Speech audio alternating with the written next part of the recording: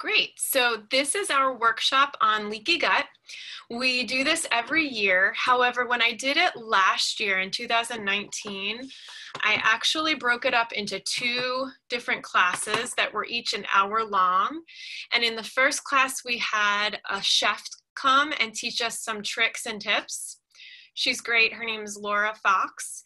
So at the end of the presentation today, I'm going to give her your uh, give you her contact info in case you need some help with meal planning and prepping.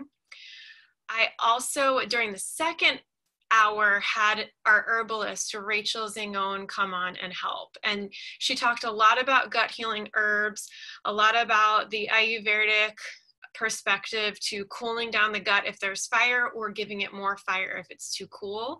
I'll explain a little bit of that if we have time at the end, but just know that there's always more to learn. This is meant to just be a basis so that that way you understand the full picture of gut healing and that way you also kind of know what to ask if you um, when you come in the clinic um, you can bring up certain tests and certain things with me if we haven't gotten there yet.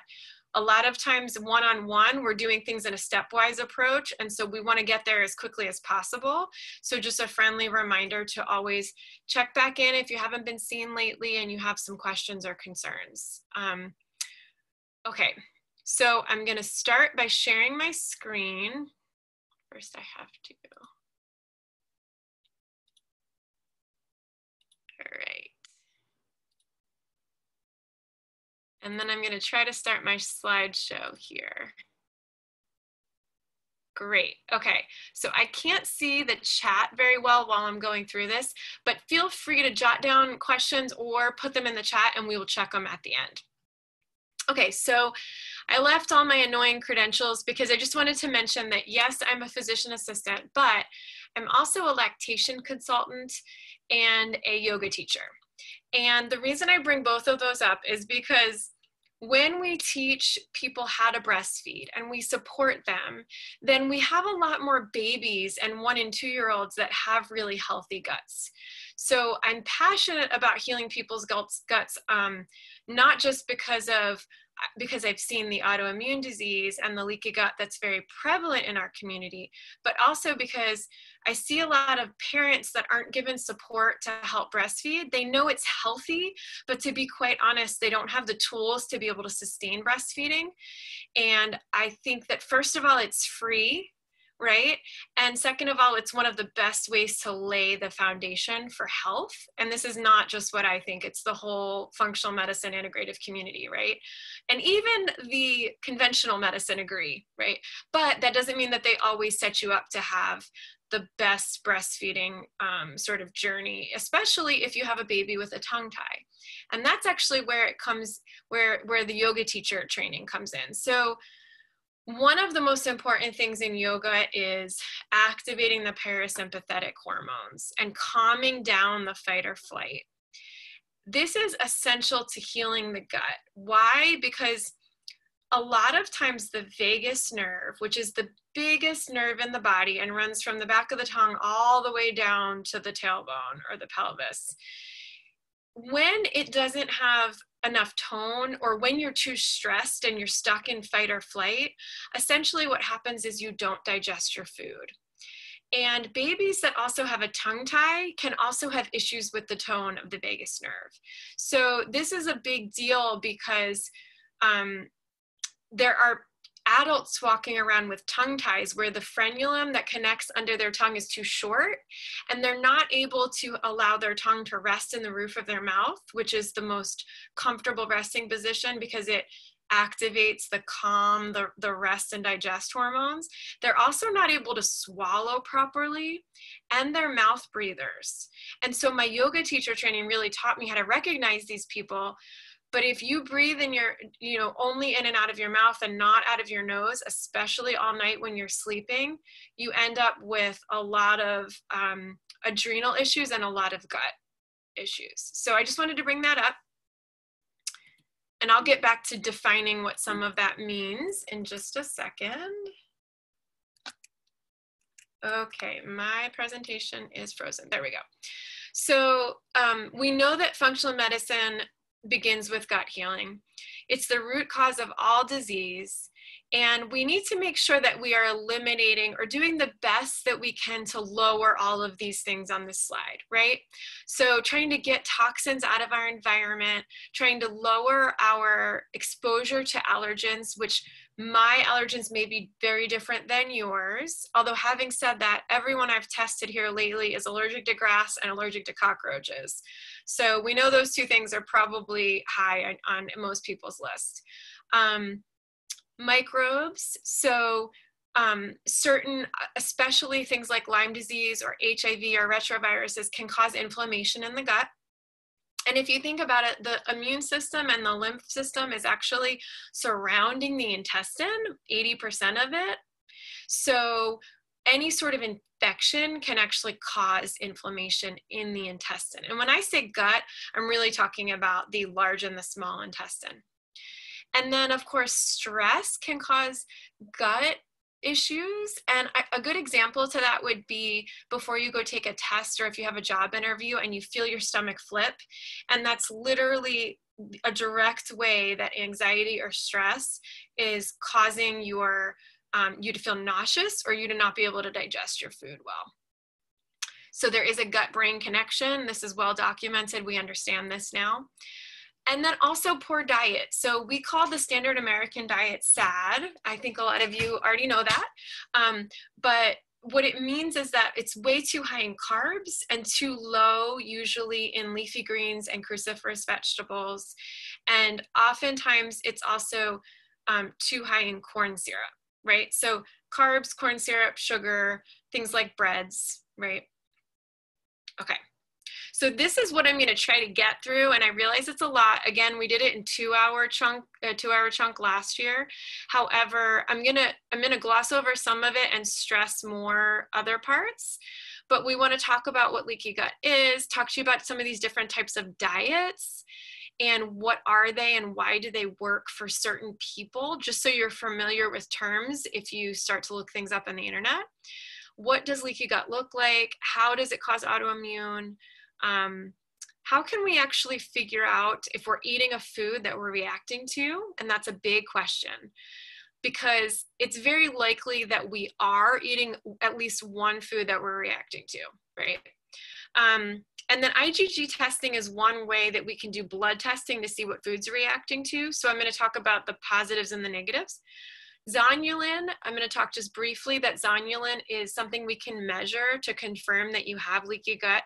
To be quite honest, I don't really use it much anymore simply because everybody that I meet has leaky gut, so I don't really need to test for it. I know that sounds awful, but it's true. Um, how do we heal is very important. So I want to focus on how do we heal and what should we eat? What about digestive enzymes, probiotics, candida? What is SIBO? Um, you know, why can it be so depressing to go on elimination diets? And then lists of local resources. And I will give you Rachel's info so you guys can also email her about herbs for the gut. Okay, so I like this picture because it just kind of shows you what you're, if you could see through the person's skin, this is what you're looking at in terms of their intestine. Um, and that picture is actually the large intestine. So keep in mind that the small intestine is about 23 feet long and it's all coiled up.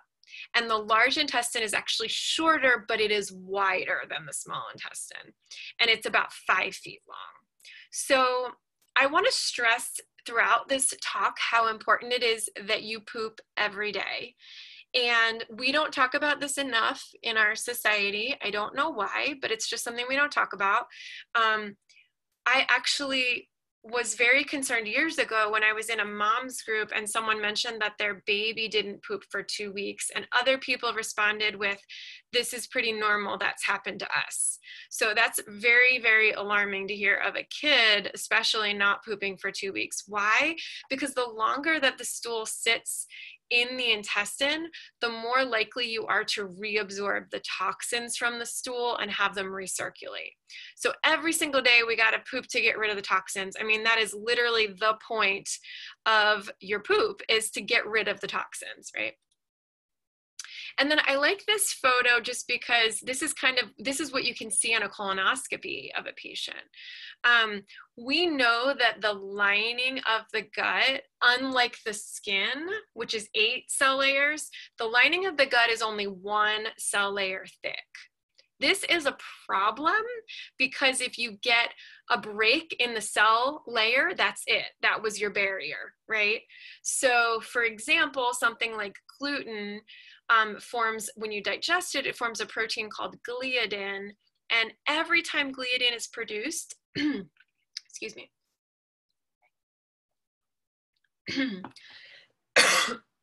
I know I'm going to say that thing that nobody wants me to say, but every time gliadin is produced, it causes inflammation in the gut and that causes a break in this one cell layer so just like shingles on a roof they're supposed to be overlapping and as soon as the the shingles have a break in them, then this is a problem because now whole food particles are actually getting through the lining of the intestine into the bloodstream. And that's not what we want. We want everything to stay in the intestine and be digested and have only the good vitamins absorbed. We don't want to absorb, you know, whole proteins and toxins because this is when we start to affect the immune system in a negative way and develop things like chronic fatigue, etc. So, um, let's see. I don't think I have any other thoughts there. Let me go on to the next one. These are two awesome books on leaky gut. Um, leaky gut is a term that's been around for quite a while now. Eat Dirt is one of my favorite books to recommend to patients because he does, Dr. Josh Axe does a really good job of breaking it down. Why um, has the hypothesis hygiene, which basically means um, hand sanitizers and over cleaning and antibiotics. Why has all of this ruined our good gut flora?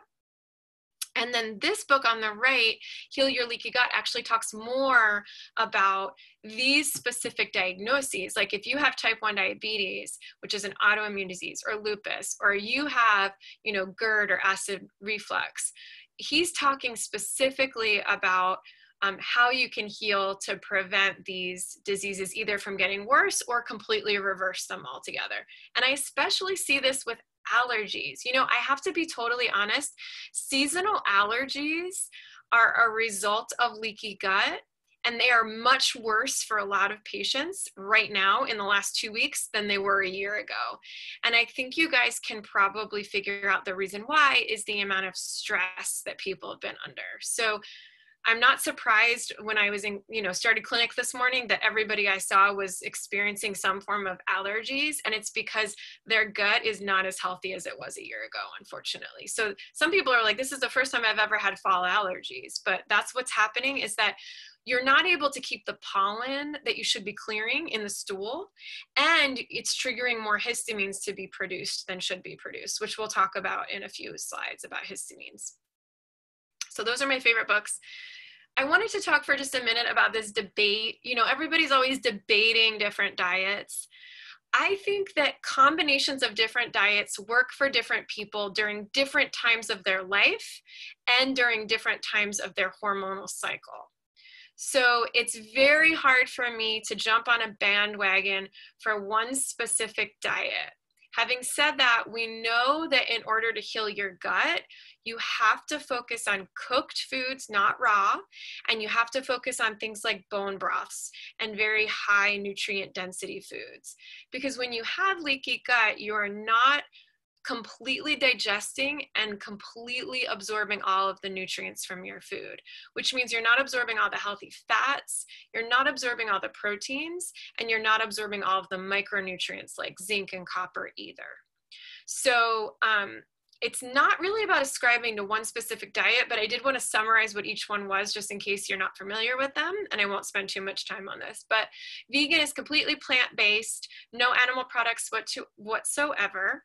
Um, the only issues I see with people, I shouldn't say the only issues, but sometimes I see with vegan that people need to plan their meals very carefully so they get enough protein and they need to focus on eating more vegetables believe it or not a lot of vegan patients are just addicted to carbs. They're not actually eating enough vegetables.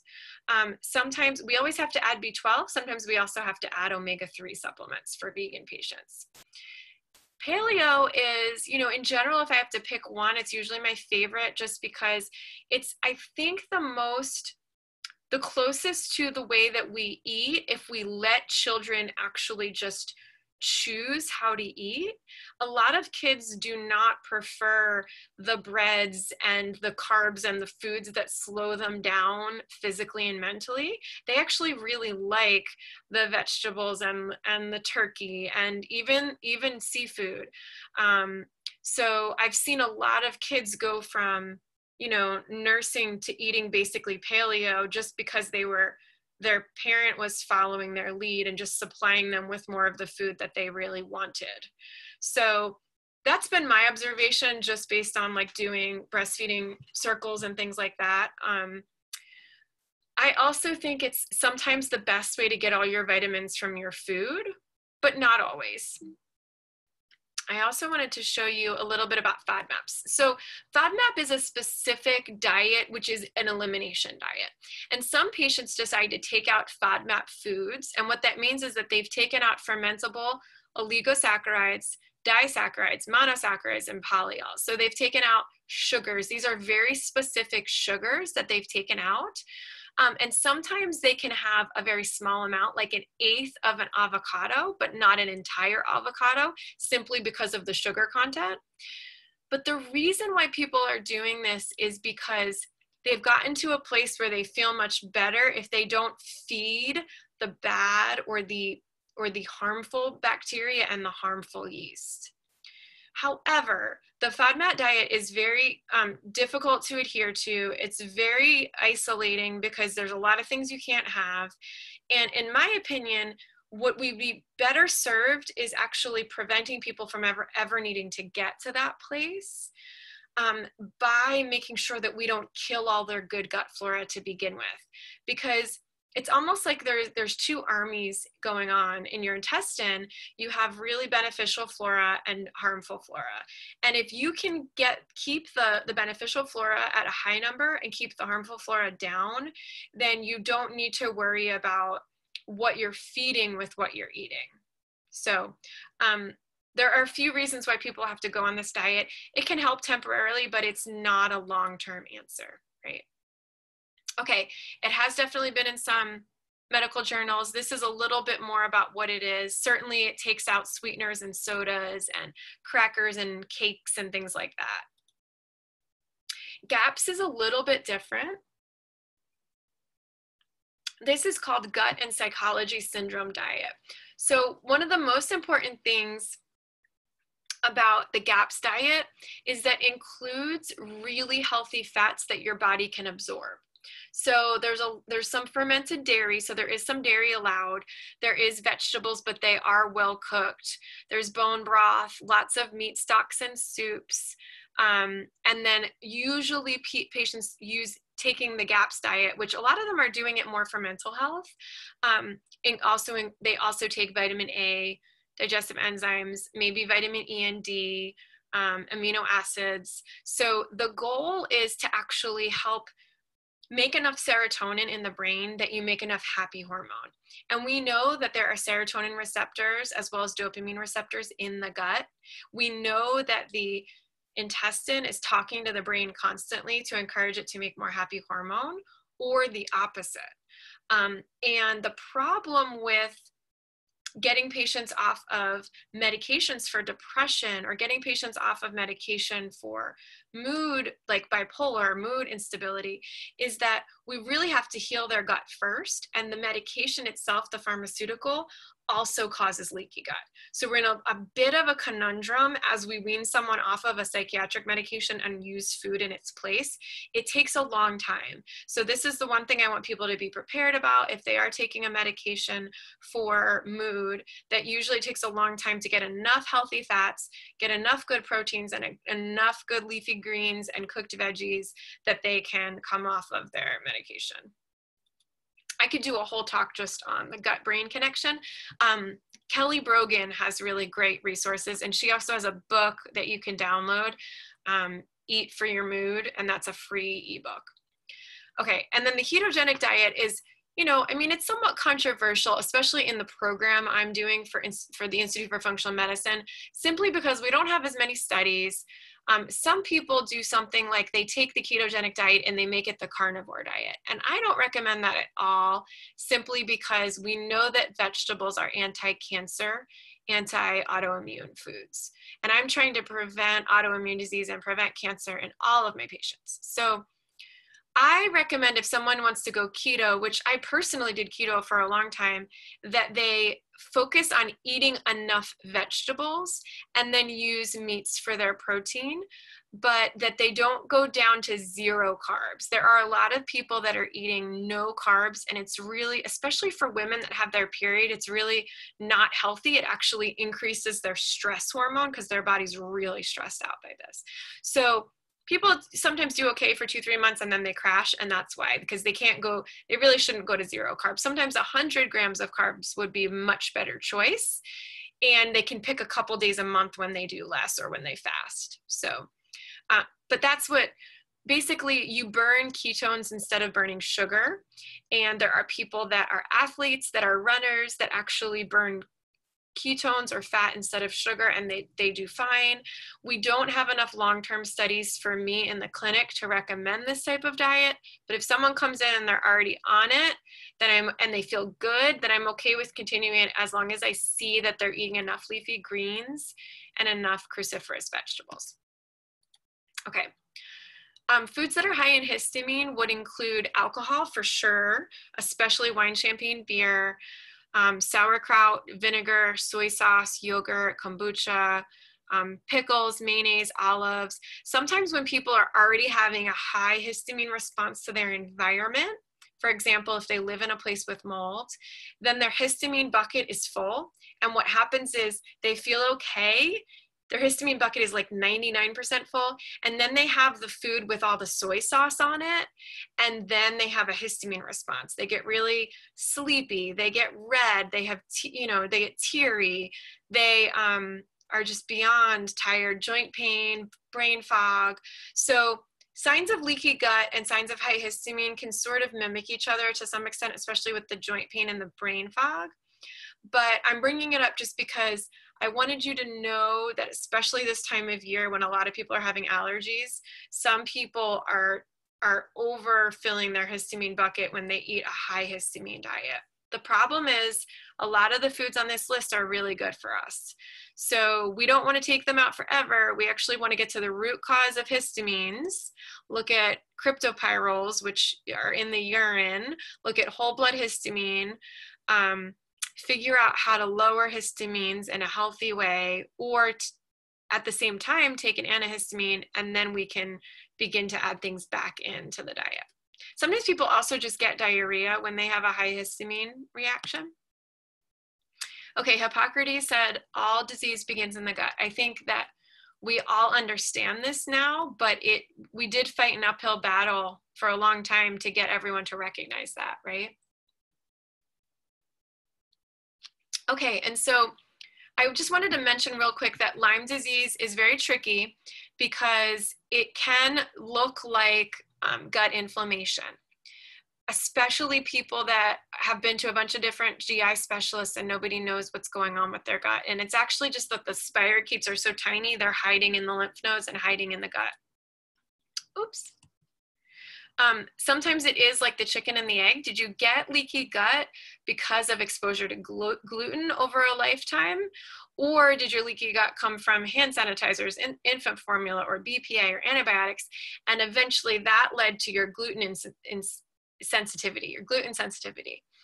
Um, and I, you know, I also think that gluten sensitivity and celiac are very, very prevalent and they're underdiagnosed. I mean, I've seen many, many, many times where someone really thought that they didn't have many GI symptoms at all, but they did have brain fog or fatigue or a rash or hormone issues. And when they took out gluten, all of it went away. So I'm going to talk more about that in a minute. We know that leaky gut can also cause autoimmune disease. Um, it can lead to irritable bowel disease, but irritable bowel disease is its own classification of autoimmune. It includes Crohn's and ulcerative colitis. Um, can it, we, we think it's linked to autism for sure. Um, you know, but again, it's the chicken and the egg. Did they have autism before they got leaky gut, or did leaky gut actually cause autism? Well, certainly there's high levels of toxins and, and heavy metals in children with autism that could have caused the leaky gut, right? Anything that could trigger inflammation can cause leaky gut. Asthma um, can be caused by leaky gut for sure. Um, food allergies or sensitivities can cause leaky gut and be caused by it eczema you know i often say to patients that the skin is the um, window to the gut. So when i'm looking at their skin in the clinic i can tell them how healthy their gut is. Just because you know things like psoriasis or eczema that means we need to work on gut healing. And then of course higher chance for developing diabetes if you have leaky gut. So i think we have enough reasons to tackle it now and I just wanted to, to comment on how it causes autoimmune disease. So if you can see on the right, this is a list of all different autoimmune diseases that I see every day. Alopecia, multiple sclerosis, Hashimoto's, diabetes, hepatitis, psoriatic arthritis, rheumatoid arthritis. So all of these can be very different and attack totally different systems. But what happens in autoimmune is that your own cells are attacking yourself. And so, um, what the reason that that's happened is because like i mentioned before whole proteins have gone through the lining of the gut and now the bloodstream comes in direct contact with whole food proteins. The immune system attacks these proteins as foreign invaders However, after over time, the immune system is hyperactive from attacking these proteins every meal, three times a day. And now it essentially starts to attack its own cells. So there are two ways that this happens that I also mentioned later. One is called molecular mimicry, and the other is called the bystander effect. And what I just described is more like bystander effect, where essentially the immune system's going haywire, and oh, by the way, there's the thyroid and all the bloodstream that's passing by the thyroid is like yeah i'm really just going to start attacking everything right so not good because we don't want our body to attack itself so this is a little bit more about what, what I just said, especially that first bullet point. Um, and then the second bullet point just talks about triggering a high rise in inflammation. So before you get autoimmune disease, you usually have chronic inflammation. And most people with autoimmune disease also still have chronic inflammation. So we are always trying to address inflammation, right? Um, and then there I, I mentioned both bystander effect and molecular mimicry. So you can Google those. You can also let me know if you want me to send out the slides. I'm happy to do that. I'm just going to take one second to make sure that nobody else popped on that I missed. Ah, there we go. Okay, I got Jen back in. Okay, so that is what I had to say about autoimmune. Next, gluten can, uh, can cause autoimmune disease. So the first way is because gluten triggers the release of zonulin. And zonulin is bad. It is a chemical that tells the gut lining to open up and allows more of the big protein particles to pass through that lining. It's supposed to be like a garden hose where it's solid and instead you end up with a sieve that has holes in it and that's not helpful. Second, gluten's also inflammatory. So it stresses your immune system. And then third, it also can cause molecular mimicry. So gluten has a certain um, amino acid in it that looks similar to the amino acid structure of the thyroid and it looks similar to Epstein Barr virus. And so, what ends up happening is that people that have had Epstein Barr or have ingested large, amount, large amounts of gluten, they eventually develop thyroid antibodies. Toxins. So, toxic molds as well as heavy metals, these are the most common things I see, also cause autoimmune disease.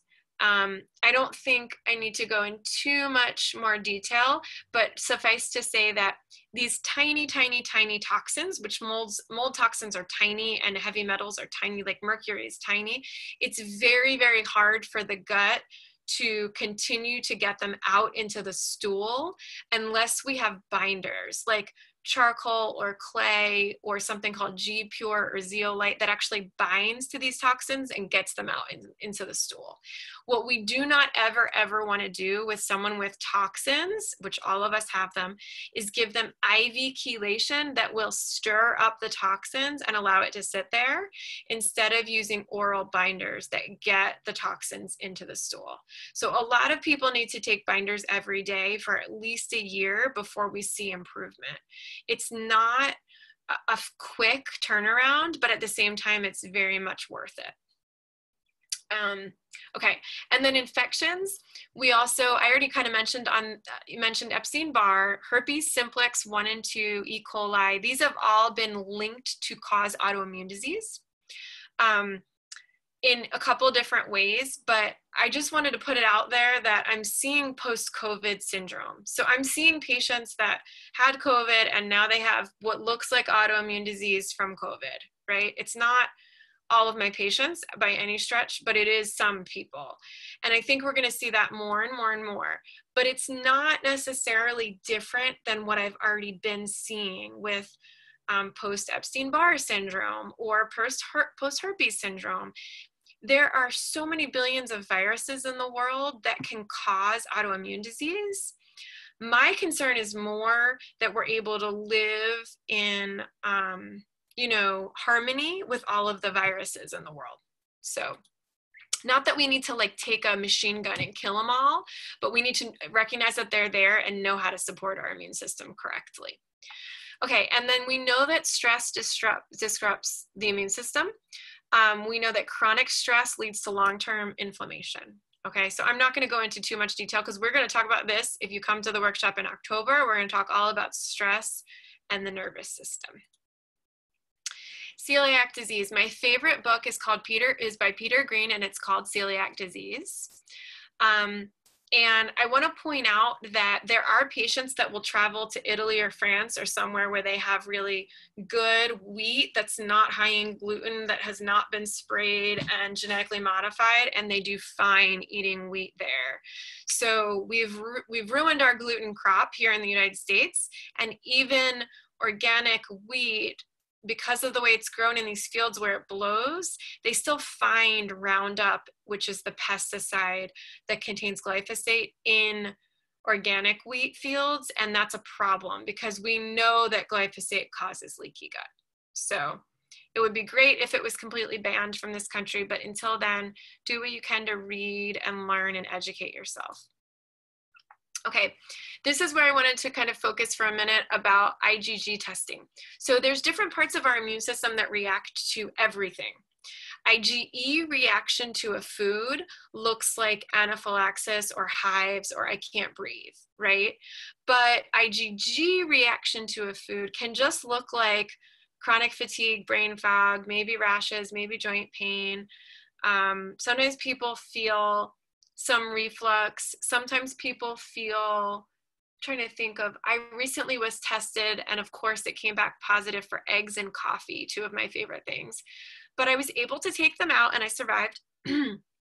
And my goal is to heal so that a year from now i can eat those again.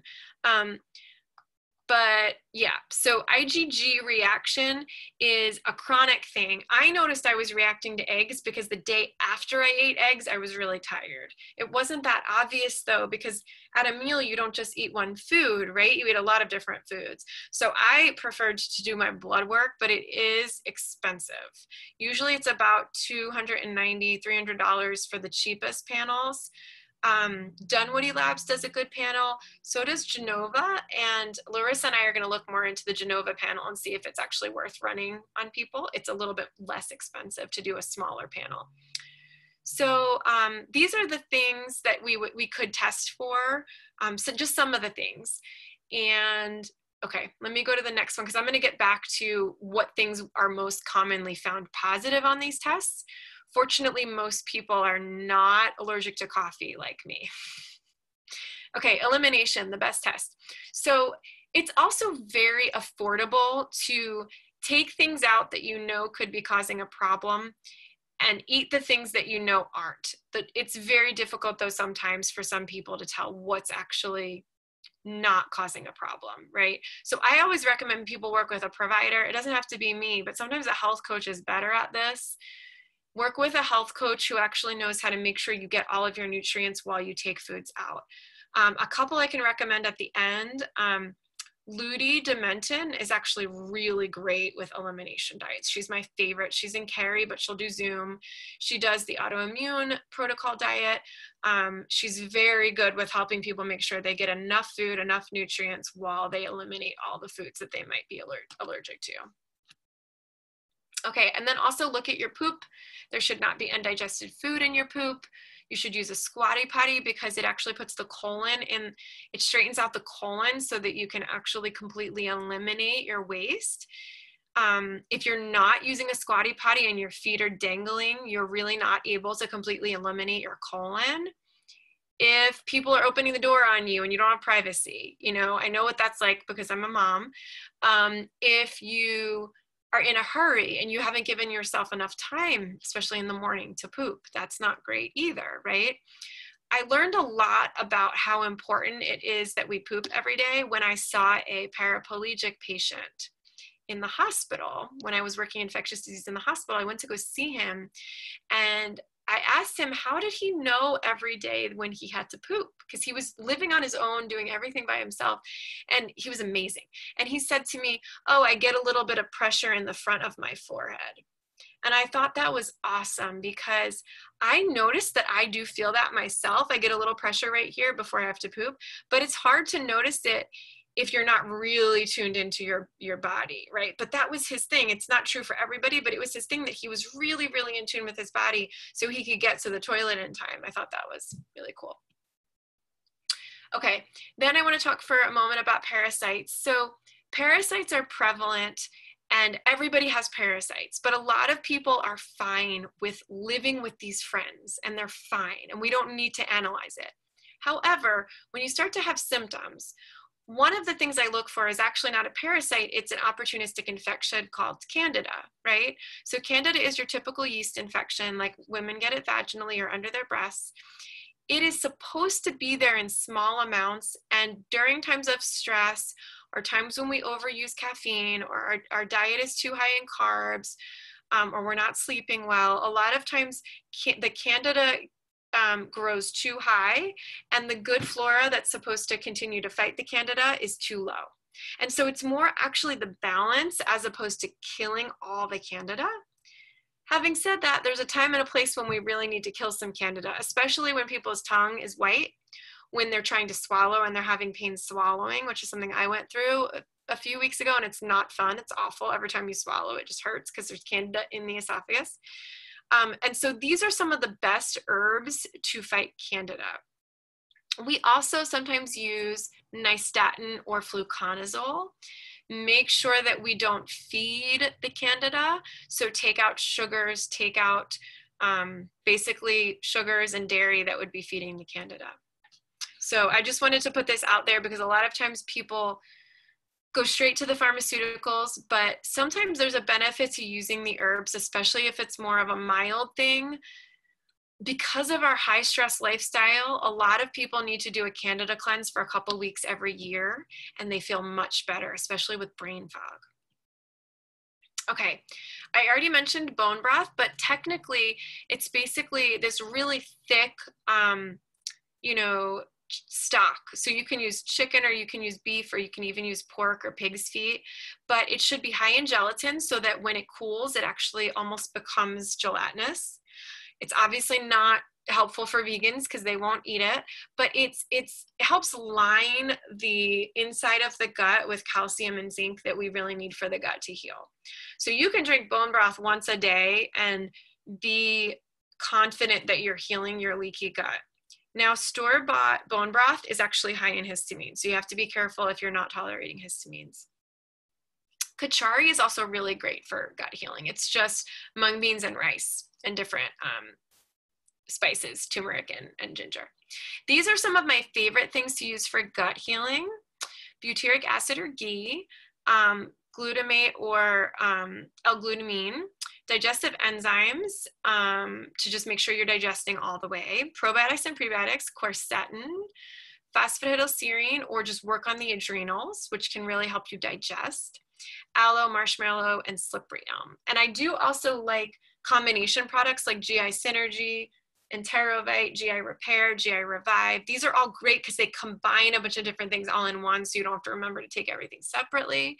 Enterovite is actually butyric acid, vitamin E, and then A and D can also really help with gut healing. So those are some of my favorite things to use for fixing the problem. And then what should you eliminate? Well, I think a lot of you know this, but in general, I've already talked about gluten. We know that the protein in cow's milk called A1 casein can trigger a very similar immune reaction to gluten. I wish I could get everybody to take casein out of their diet, but it really does bind to the opiate receptors. So you go through a physical withdrawal when you take it out. Some people can tolerate goats goat's casein or goat's protein much better than cow.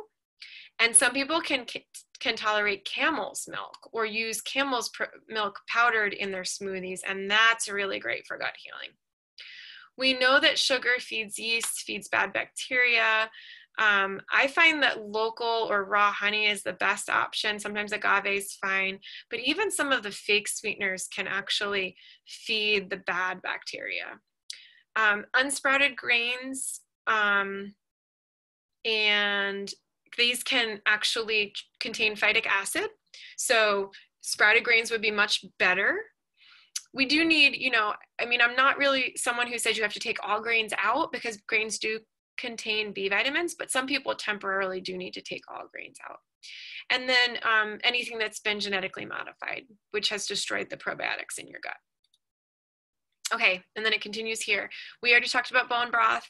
Um, some people can do raw cultured dairy. This is more of a Weston A. Price Foundation idea, but some people can't. Some people could do something like a goat's milk yogurt. They would tolerate that much better to re-inoculate the gut with good bacteria. Some people can also do kimchi, coconut um, kefir, things like this. These are high in histamine. However, if you're finding other ways to lower your histamine and you're tolerating histamine, they can help to lower the pH and actually balance the intestine. Um, in the stomach and the intestine. Then we also know that steamed vegetables, not raw, are very healing to the gut. And of course, healthy fats. I think you guys live in the modern world where we've been learning a ton about how great these healthy fats are for us, right?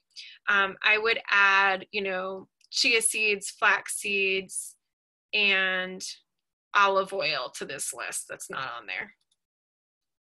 Okay, and then this is a little bit more about what we've talked about. I already mentioned everything on here except the aloe vera and the fish oil.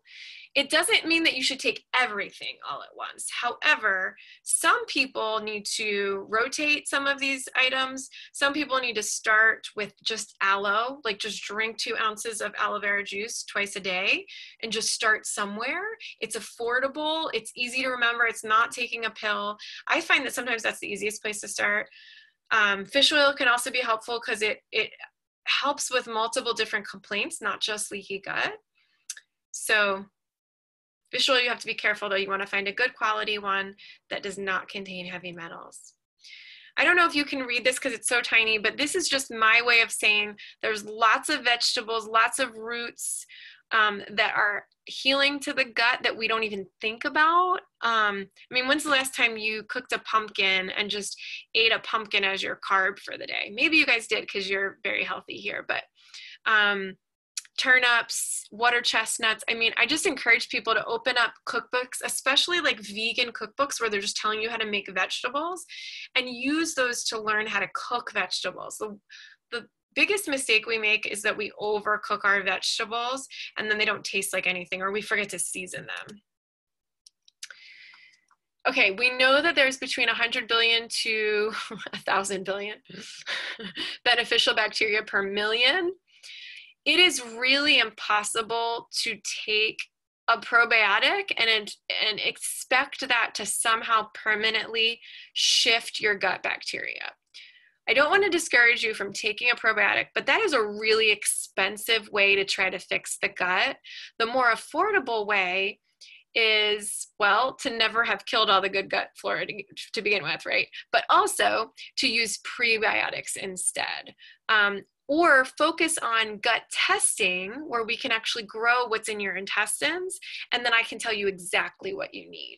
Um, i know it's expensive. Gut um, stool cultures are usually between like 250 and 400 dollars. But if you do it one time and then the rest of the year you buy the probiotics you need then you may actually save some money you know? Um, okay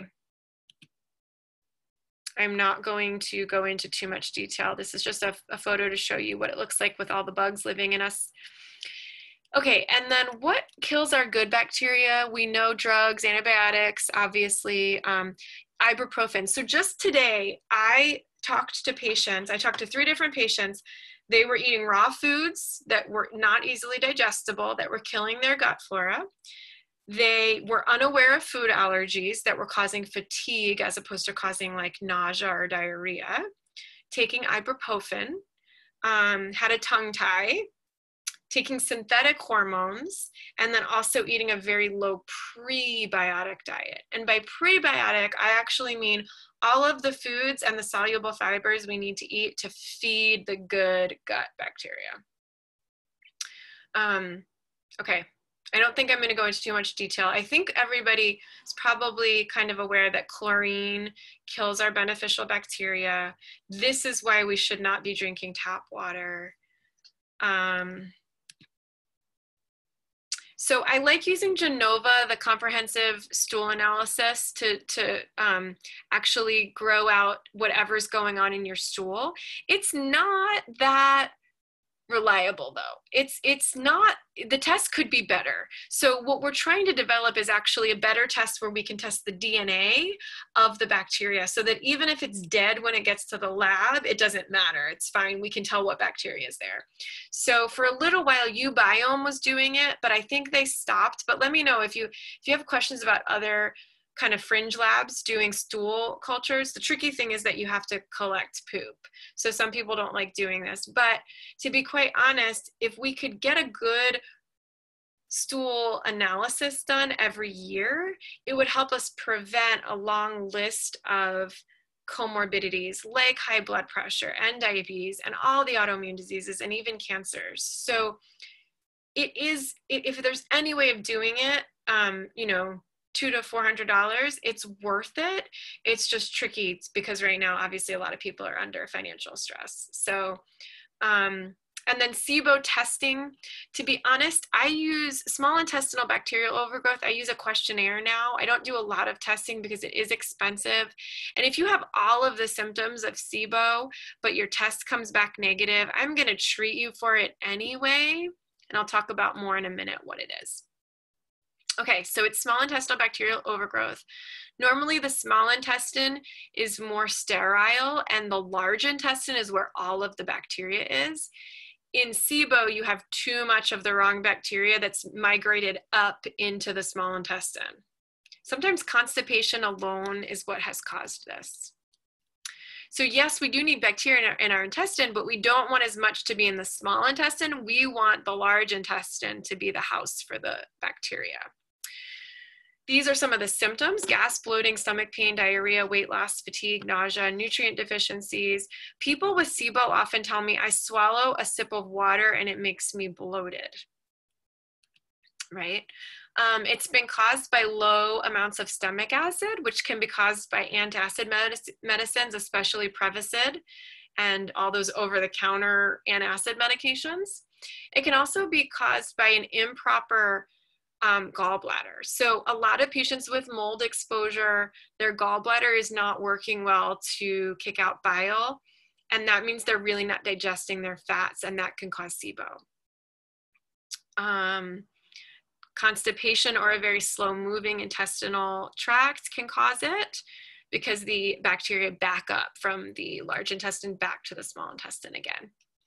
And then the lining of the digestive tract can also be a problem for SIBO and normal valves. So, so the last point here about structurally normal valves, um, means that a chiropractic adjustment or even you yourself finding the spot between your belly button and your right hip where the ileocecal valve is, you can actually find it and you can very, very slowly push deeper and deeper and deeper. And if you can completely reduce that valve, you can often get the food to move. And a lot of people, if they do this to lay down before they go to bed at night, it helps to keep everything moving so that they have a bowel movement in the morning. So it's just a little trick but ask your provider before you go adjusting yourself. So this is not supposed to be blurry. This is your um, example of the results when we do a stool test. Everything in yellow, you don't need to read it, but just know that everything in yellow is commensal or kind of like, we're not sure if it's great, but it's definitely shouldn't be so much of that there. And then dysbiotic or bad bacteria is in red. So it's really about, about how much good do you have how much kind of intermediate and how much bad. And this person has some work to do because we want to see nothing really in this red column and everything over here in this green column. And then also we did check for candida and the patient was positive for too much candida. Okay, I'm gonna kind of zoom through because we are out of time. I don't know that spore spore-based probiotics are better. Are they better for some people? Yes but it's it's really the point of functional medicine is it's individualized. I cannot tell you without talking to you and evaluating you and examining you if spore bi- spore based biotics are best for you. Um, they the probiotic industry is a multi-billion dollar industry. Every company wants you to think their probiotic is the best it's it's very tricky because if you walk into a Whole Foods nowadays, there's actually zero probiotics that I would recommend there. In fact, there's almost no supplements I would recommend for probiotics at this point because they've they've gone with things that are being marketed well, but not necessarily the best for for the consumer. Okay, ideas about how do we recolonize the gut, meaning how do we get good bacteria back in there if we've killed it with, say, antibiotics over our lifetime. So I've already mentioned how expensive probiotics are and they don't really last. They work while you're taking them, but they don't continue to colonize the gut. There is this brand called Thryve that you can go to their website and they say that they are testing your stool and then they're sending you a probiotic that is curated for you. And I'm a little bit weary of this because if they're doing the testing, then of course they're going to find something wrong because they're trying to sell you their product. So I don't think the science is there yet, although I would love for it to be there. Um, the Probiotic Advisor is a great website to go check and see like if you're having depression right now, you can go to Probiotic Advisor and you can type in depression and it will tell you which strain of bacteria you should be taking to help you make good, happy hormones. Um, I also wanted to mention real quick stool transplant. It's not that weird of an idea to think that somebody with really healthy bacteria in their gut could donate some to you. They've got plenty. They're pooping it out every day and flushing it in the toilet. Um, they're doing this in the Bahamas. They're also doing this here in the United States for people with C. diff which is a specific type of bacteria that takes over. So they're already doing it, but they're not doing it for the reasons that I would do it in terms of preventing autoimmune disease, preventing hypertension, preventing diabetes. So we're not there yet, but we're close. There's also a clinic in Charlotte where they'll teach you how to do it yourself if you can find a donor. You want to find someone that has really healthy poop, and then you want to test their poop and make sure it's good. Um, it's cheap if you can find some way to do it kind of off the books. Anyway, prebiotics are actually more effective at, oops, and that's supposed to be soluble fiber with an S, sorry, not colluble. But prebiotics are basically all the soluble fibers in the foods we eat, things like leeks, asparagus, sunchokes, onions, garlic, chicory. How many of these can you get in a week? Can you get 40? Servings of prebiotic foods in a week. I mean, I'm challenging you to try to get more probi- prebiotics in your diet. It is challenging to do it all at once though. You want to slowly build up so you don't feel gassy because you're you're feeding all the bacteria so you will feel gassy if you go from 0 to 100 all in one week. And then these are some supplements. Biotagen contains um, arabinogalactan and beta glucan and inulin. And all of these are great prebiotics that are over the counter that are less expensive than probiotics and they work better long term. So if you can tolerate them and you don't get gassy, that's the way to go. Some people need to take both though, right? Um, okay, I think that's it that I want to talk about. Um, this is just a comment that our second brain, which is our gut, has become weak. It's due to the fast paced lifestyle of today's humans. Diets are consisting of sugars, artificial colorings, hormone filled fried foods. It's not a good situation. Um, the more you can learn about this and tell people about it, the better off we will be in the future. Um, and that's from Thryve, where they actually do that curated probiotic, which I'm not necessarily endorsing. Um, and this is what we're going to talk about next time. So I'm not going to go through these slides because we'll talk about them next time. Your brain and your nervous system is directly connected to your gut. I already mentioned that feeling you get when you're nervous, when you're really not hungry, you're just kind of nauseous. We know that our emotions affect our gut, right? Think about what you do when someone dies and you bring them food to comfort them right? We, we know this um, but i want to go into more detail about the nervous system and how we can help heal our nervous systems as a society and i'm going to talk more about the vagus nerve in october. Um, this is just an example of what's contained in, in a good digestive enzyme. It will have everything like all of the different enzymes this does not have HCl, which some people also need, and it does not have ox bile, which some people also need to take if their gallbladder is not working. So this is a good digestive enzyme, but it does not contain everything that you might need if you're really not digesting your food. And then this is just local resources, and I can send this list out separately in an email. It's basically just telling you places locally where you know you can find food that's not GMO'd, that's not sprayed, um, it is really worth it to get food that's higher quality and eat less of it. Um, unless you're someone who's already not eating enough, in which case we'll talk. um, and so, for example, like I went to the Durham Co op the other day. I didn't have as much of a choice in terms of which produce I got. I also went to the farmer's market this week, but I knew that I was actually saving money because I was buying food that was in season, that was not sprayed. And some of it is less expensive because it's local, they didn't have to ship it, you know? Here's more. Um, western wake farmers market is great. You know the farmers markets are open. You know you go in you kind of enter there's a hand washing station wear a mask and you go out the opposite way and everything's sort of pre-bagged for you so you're not touching stuff but i think it's great to get back out there and get back to the farmers markets if you can. There's also a lot of farms that will deliver to you now because of covid. Um, okay that's it. I'm going to end my screen share, but I can go back to any slides since I went so fast. If you guys have questions, it's 701. Um, there's no stupid question. I'm going to end the recording though.